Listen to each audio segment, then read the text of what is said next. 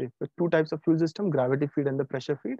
As the name suggests, gravity feed is the one in which the gravity is going to create a pressure for a fuel. But that does not mean only gravity will create, we can also have a pump over there. And pressure feed is the one in which we have a pressure pump installed so that the fuel can be supplied under a high pressure. In a gravity feed, the system will be very simple like this. Suppose there would be a fuel tank.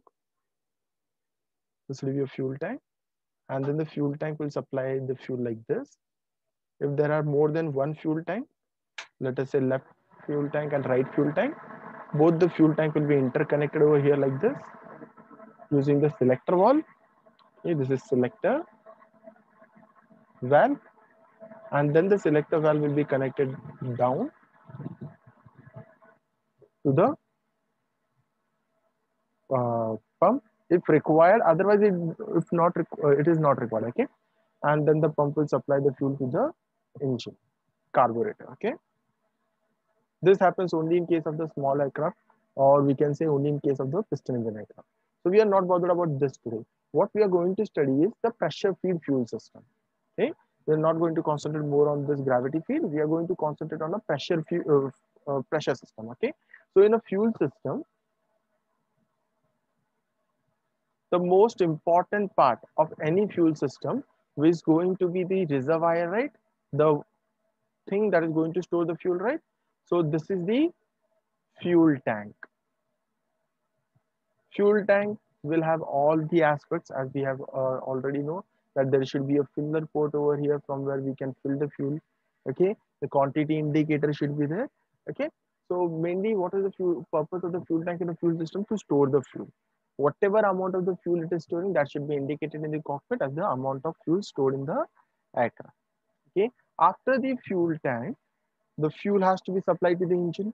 Now the engines can be below the wings or it can be on the empennage. As in case of the MD-11, you have seen that uh, engines are on the tail, right? So for that reason, the pressure has to be supplied. Even in the gravity feed, because the aircraft is flying at a higher altitude and uh, gravity feed is not that reliable because when the uh, aircraft is changing the attitude, that means aerodynamic shift kar raha so fuel supply will band ho right? So for that reason, we require a pump to be installed. Okay. So after the fuel tank, we have a main fuel pump. Okay. After this, we get a main fuel uh, main fuel pump. This is the main fuel pump. Now don't go with the diagram. Fuel tank will be very, very big. Fuel pump will be very, very small.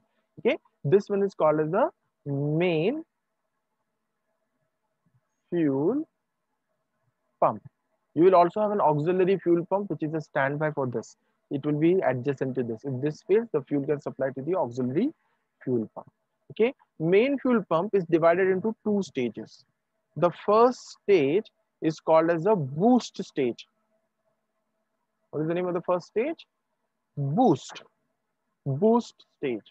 Boost stage means what? What will happen is the fuel which is coming over here will obviously will be not under the higher pressure, right? It will not have that much amount of force. It will come uh, over here. The boost stage, which is a basically a centrifugal pump. What it will do is it will rotate at a very high speed and pressurize this fuel. Okay. After the boost stage, we have uh, the fuel will be supplied into the gear pump. Or you can say gear element okay? Gear pump. Basically dgc this is boost element this is gear element. But basically ye kya hota beta boost stage and the gear pump.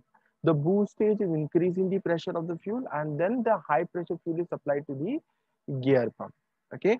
Obviously if something is rotating it can create the contamination right so we require a filter over here okay so this is the filter which ensures that no contamination is going into the gear pump gear pump is the positive displacement type pump, right? So what will happen is if the pressure is increased on this side and the fuel cannot go forward, what will happen is the pump will keep giving the amount of the fuel in excess. So what will happen is there will be extra amount of the fuel available over here, which has not been consumed. So what happens is this pipe can burst because of the high pressure. I don't want the pipe to burst. So what we have to do is we have to install a pressure relief valve over here. Okay. this is what is called as a pressure relief valve. PRV, pressure relief valve. What is the purpose of pressure relief valve? If there is an extra pressure on the downline or there is excess pressure on the downline, it will relieve the pressure. जो भी high pressure आएगा bit on the downside, it will be thrown out from here like this. The fuel will go over here. That's why this pipe will be safeguarded. Okay. So fuel tank, fuel is supplied to the uh, boost stage. From the boost stage, the fuel is further uh, uh, fuel is pressurized. It is a centrifugal type of the pump. from this, the fuel will go into the filter where the contaminants are removed. From there, the fuel is supplied into the gear, gear pump. Okay, these two are both connected to the accessory gear box. So if it is connected to the accessory gearbox, that means what? That whenever the uh, uh, uh, gearbox is rotating, gearbox is rotated by the starter also, right? So it will also rotate. So that is how the pressure is created. Okay, understood? Pressure relief valve, PRV. Here what happens is, this is a uh, internal section of the diagram, basic diagram. This is the inlet from which the fuel will enter. This is the outlet from which the fuel will go out. So when a fuel is coming over here, it will come over here and hit this ball. Okay. If the uh, and here there is a spring. Okay. Here there is a regulator where which I can tighten or reduce the pressure over here. The tension on the uh, screw can be changed. So if you are changing the this, that is turning this, the pressure can be controlled over here. Okay, that will be done uh, at the time of installing this. So suppose the fuel is coming over here, and if it has uh, enough pressure so that the spring tension can be overcome by the fuel. Understood? That let us say this was a spring, spring had some pressure. If you can overcome that pressure, what will happen is it will unseat the ball valve. Ball valve kya karega beta? It will push over here.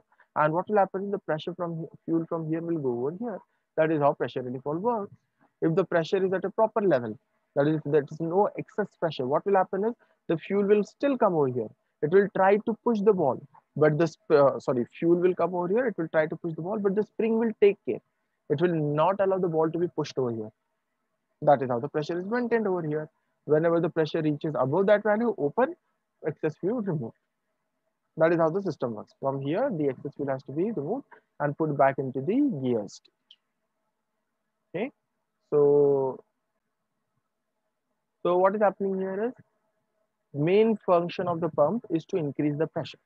Now I have got a high pressure fuel which is coming out. Now this is the downline. This is called as an upline. Suppose uh, uh, rotating part are inside the gear pump so gear pump is rotating, two gears are getting meshed with each other. That is creating a wear and tear of the gear system. So whenever there is a wear and tear, what will happen is,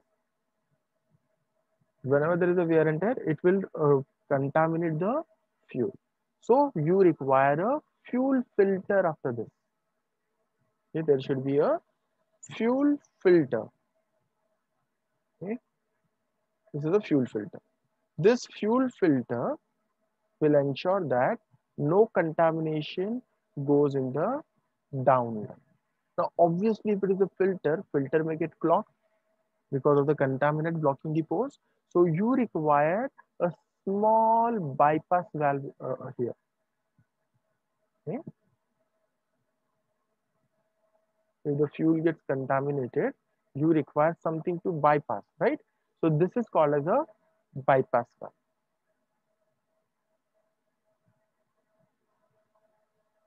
bypass valve.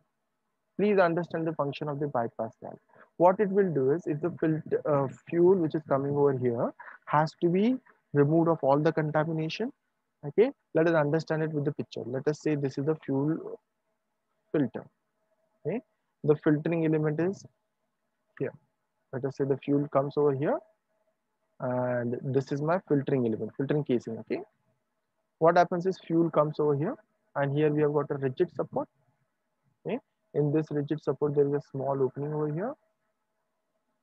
And in that small opening same as our pressure relief there is a small ball okay? And here there is a strut, strut like this. This is the outlet, this is the inlet. Okay, what happens is the fuel will come from here. Okay, it will be present on the all the sides of the filter. This is the filter, filtering element. Okay. So fuel will be collected on all the side of filtering element and filtered fuel will enter inside the filtering element. So if I draw it properly, it will look something like this. Like there is a small mesh-like structure over here, which you have seen in all the filters like this. Okay. So what it will do is, it will remove the contaminants. All contaminants will get blocked over here, all the wear and tear, and your fuel will enter here. This fuel is a pure fuel. Okay. From here, we have got a small opening over here through which the fuel will go out. From here, the fuel goes out, and that's how we get, get the fuel. Okay, this is the inlet of the filter. This is the outlet of the filter. Okay, so the fuel comes from here, comes into the casing. This is casing, outer casing. Filters goes out over here. Please remember, whatever filtering is done should be done from outside to inside. This is the filtering element, right? This is the outer area. This is the inner area filtering is done from outside to inside. This is a DGCA question. They ask why the filtering should be done from outside to inside. So, so that we can increase the surface area. See, if I filter it from inside to outside, that is suppose I can keep this as an inlet, this as outlet, it will work properly, right? There is no problem in working because this is the inlet, fuel will come, filter out from here and go out. It can work properly. But what happens is you get only this much surface area, that is inner part. Whereas the outer part is the bigger surface area, right? So I can hold more contaminant over here, right? Understood? So what happens is the fuel comes over here, it, it goes into the casing, it gets filtered into the filter, and from here the filter fuel will go out.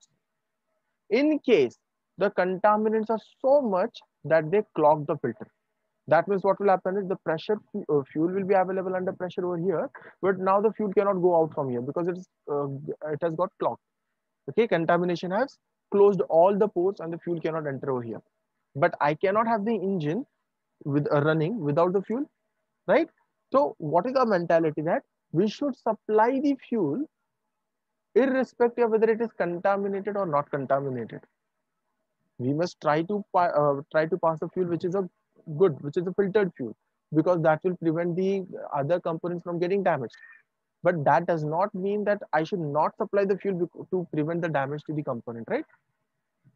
Filter अगर काम नहीं करेगा इसका मतलब नहीं है कि engine बंद कर दो because then the passenger life will safety comes into the consideration so that's why there is a bypass valve it does is if the filter gets clogged it will just open and allow the fuel to go over so what happens here same as your pressure relief valve force will come pressure will come over here if it is more than the pressure it can withstand so it will go up it works on the differential pressure fuel pressure will be available on this side also this side also if there is a difference in the pressure this opens and AME will get an indication that whenever the uh, filter is open, bypass valve is open by a pop-up indication. This is called as a pop-up indication.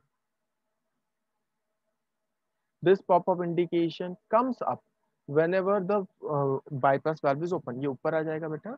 As an AME, you have to uh, see this and then you have to do the corrective action. In case of this, there is a small drain also available over here. I hope that completes the filter.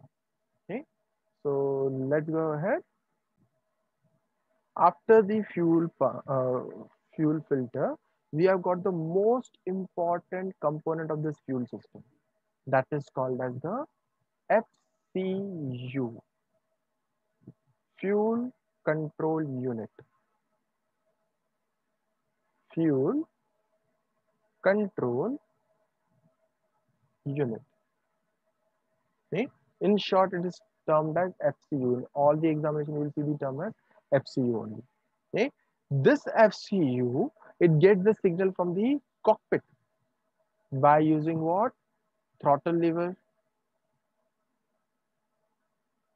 Okay. Throttle lever when you move, it will also move, right?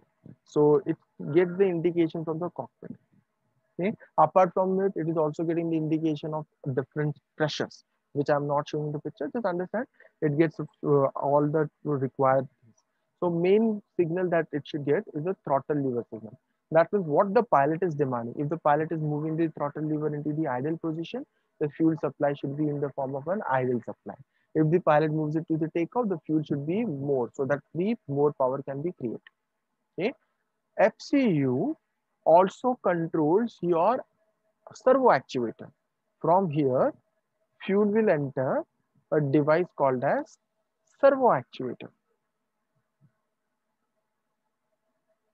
Servo actuator means what? It is working on the fuel pressure and it is actually controlling two parts. First one is variable stator vane and bleed valve.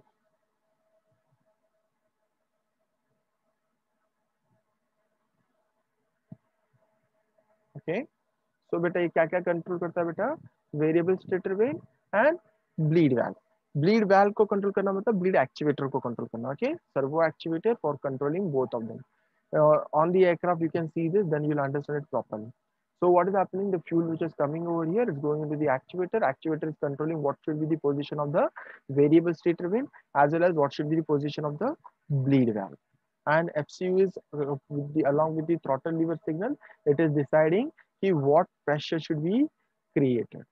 Understood? Okay. The next part over here, after the FCU, we have got another device called as overspeed governor. Overspeed governor. OSG.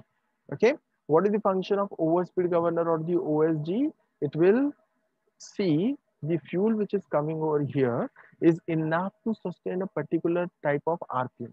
If that RPM says ada ho beta, fuel is more than they require, what will happen is it will remove the excess fuel and send it back into what? Inlet of this. Understood? If there is an excess of the fuel available, it will remove this excess of the fuel and throw it back into what? Inlet of the fuel pump. Since there is no space to draw it, I'm drawing it over here this side. Please try to understand. Okay. So ये क्या करेगा बेटा यहाँ से extra fuel आ गया उठा के इसमें क्या कर लिया बेटा मेन फ्यूल पंप के इनलेट में एंटर करवा दिया उसको that is the function of the overspeed governor. How it is acting? If there is an excess pressure, only and only then it will allow the fuel to return back to what? Pump. Clear better? Okay. After this, please remember, this is a DGCA question. After this, there is no change in the amount of the fuel that is supplied to the engine. See, when I say a fuel control unit, no, in the fuel control unit also, if there is excess amount of the fuel coming, it can send it back. Okay, so let us draw it somewhere here. If there is excess amount of the fuel coming, you can send this fuel back. Just for understanding purpose, I'm telling you, extra amount of fuel if it comes into the FCU, fuel control unit, it will send the fuel back into the inlet of the pump. Understood? So here we are controlling the fuel. If at all main function of the FCU is to control the uh, overspeed also. But if at all, if you are supplying more fuel, overspeed governor will take into consideration. No excess amount of fuel will be supplied into the engine. Okay.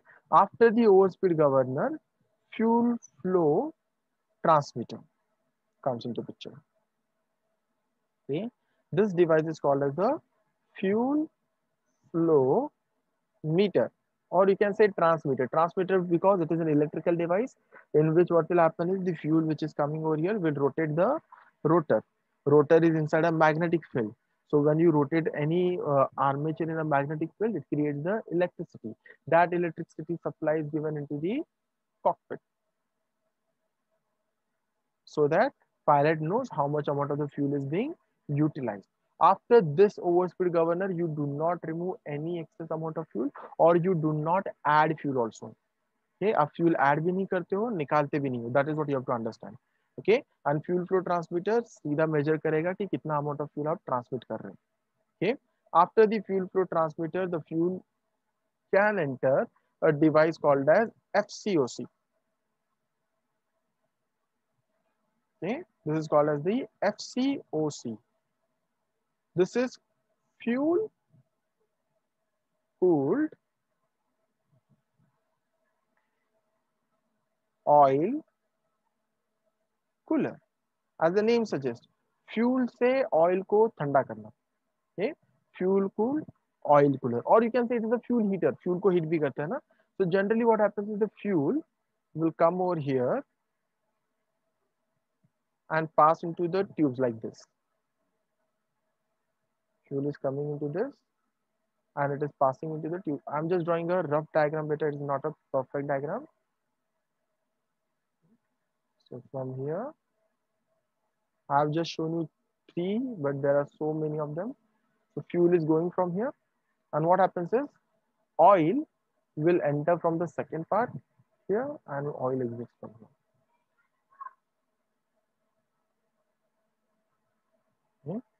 It can be from any side kahin se bhi aaye kahin se bhi that doesn't matter beta. Oil. So oil comes in oil goes out. So what will happen is the cold oil uh, sorry uh, hot oil will come over here. Fuel will cool it understood? And this is the fuel flow meter. After this comes the most important equipment of your thing called as the P and D valve okay? We call it as a P and D valve. This is actually a pressurizing and drain valve. Okay. So let us draw this. This is P and D valve. क्या बोलेंगे बेटा pressurizing and drain valve. Here we have got a small drain. What drain will do? It will remove any fuel which is excess available over here. I'll come to the function of P and D valve in a bit. So P and D valve will be located. After the P and D valve, high pressure fuel will come up over here. Okay, and this high pressure fuel will enter a fuel manifold. Fuel manifold is nothing but a pipeline in which the fuel can pass. So this is fuel manifold. We keep a pressure sensor over here. Pressure sensor. This pressure sensor will measure the amount of pressure which is going into the fuel manifold or we can say manifold pressure also. Okay. So first understand there are two parts in P and D valve. P part is called as pressurizing. Okay. So what it will do is it will see the fuel which is coming under pressure over here it will ensure that the fuel is available in the sufficient pressure so that when it enters the fuel nozzle, this is called the fuel nozzle. Okay? Fuel nozzle. So that when it enters the fuel nozzle, it will be in the atomized state. If you don't supply it under that pressure, what will happen is fuel will not be in the atomized state. Less pressure, the fuel will come in the form of the droplet. High pressure, very high pressure, what will happen is the fuel will come in the form of a mist. I don't want either of them. So what I should have is I should have a fuel nozzle which will give me properly fuel. When we are a beta fuel nozzle, it should give me atomized fuel inside the combustion chamber. So now what, what we are seeing over here is the combustion chamber. Okay, that this is the fuel nozzle and this is inside combustion chamber. Combustion chamber.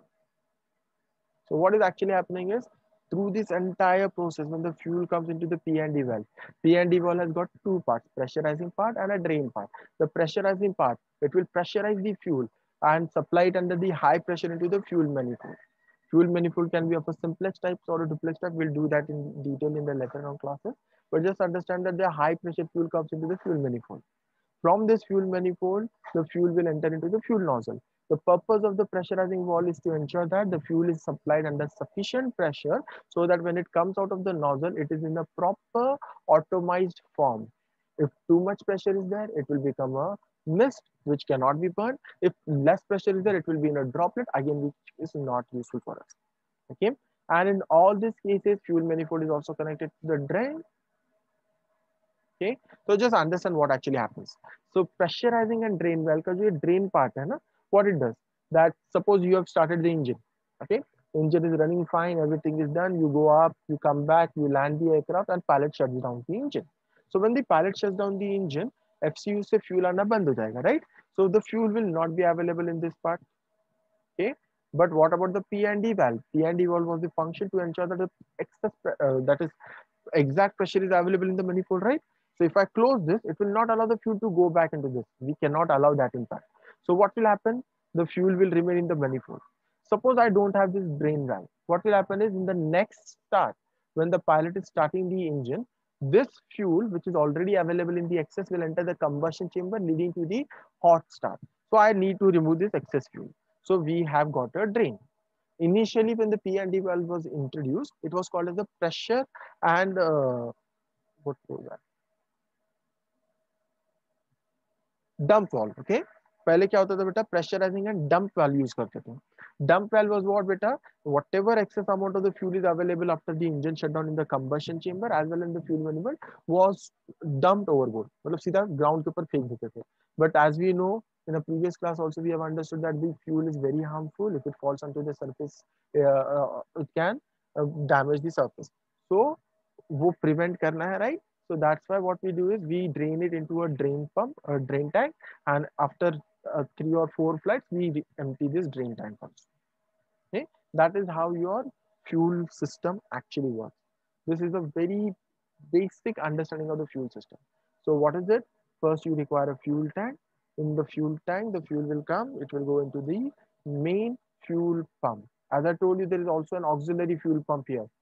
Okay, which I have not shown in the picture. Auxiliary pump function is if the main fuel pump is not working properly, auxiliary fuel pump will pressurize the fuel and supply it in the forward line. Okay, main fuel pump is divided into two stages. First stage is called as a boost stage, second stage is called as a gear stage or gear element. Okay, boost stage is a centrifugal pump. Fuel will come inside the boost pump it will rotate and create a high pressure. This high pressure fuel passes to the filter and then it goes into the gear pump. Okay, so gear pump में जाएगा बेटा यहाँ पे और pressurize हो जाएगा. Gear pump is a positive displacement pump. Hence we have installed a pressure relief valve. If there is an excess pressure, that will be overboard vented. Outlet of the main fuel pump is passed into the filter to remove any contaminant that may enter into the system. Okay, and from here the fuel filter also has got a bypass valve so that in case the fuel filter fails, or if something happens, some damage is happening to the fuel pump filter. Excess pressure on this side will open the bypass valve, allow the fuel to go into the fuel control unit. This is the heart of the fuel system, main part of the fuel system. It is connected to the throttle lever, okay? But only in case of hydromechanical system हम लोग बोल रहे throttle lever but it is also connected to the pressure sensor what is outside air pressure what is outside air temperature what is the fuel temperature everything should be given to fuel control unit so that fuel control unit can decide taking this parameter into consideration how much amount of the fuel I should send forward okay then I've got an overspeed governor overspeed governor what it does it it is always counting what is the RPM of the engine if the RPM of the engine is exceeding a limit it should be stopped. So what overspeed governor does it, if the RPM is exceeding too high then the desired value, it will remove this excess fuel and throw it back into the pump. Okay, fuel control unit can also do it, whatever is the excess amount of the fuel, it can throw it overboard into the tank again. From here, overspeed governor, the fuel enters the fuel flow meter or you can say fuel flow transmitter actually the transmitter will measure the amount of the fuel and it will supply the signal into the cockpit where we can see what is the amount of the pressure in the fuel. High pressure now comes into the FCOC where the fuel will, since fuel is cold here, the fuel will cool the hot oil which is coming from the lubricating system. Lubricating system होने के बाद जो oil hot होकर आता है उसको cool करेगा बेटा. From here the oil will go into the oil system, fuel will go forward into the fuel system. From here the fuel enters the P and D valve DGCA question. P, what is the purpose of P? Pressurizing valve. What is the function of the D? Drain. Option is given dump also. Do not mark dump. Dump is being removed now. So pressurizing valve it ensures that the fuel is available in the sufficient pressure so that when you are supplying the fuel, you get a proper atomized fuel. Too high pressure, it will create a mist. Too low pressure, it will create a droplets of the fuel. And to measure the what is, uh, fuel pressure inside a manifold, we have got a pressure sensor. This will again give an indication in the cockpit. Whatever is the excess amount of the fuel after the engine has been shut down has to be removed. So we have got a drain which will remove the excess amount of fuel available in the fuel manifold after the engine has shut down, preventing the hot start in the next engine. That finishes this talk. Okay. If there is any doubt, let me